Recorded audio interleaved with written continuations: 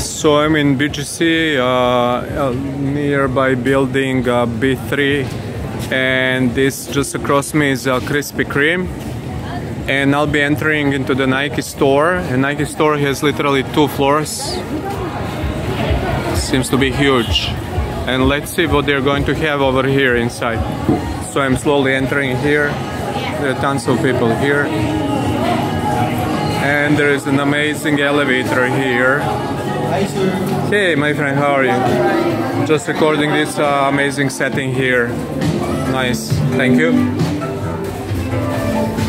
I press number two in this elevator, and this guy closed the door. And I'm getting uh, now to the uh, level two. Wow, very interesting.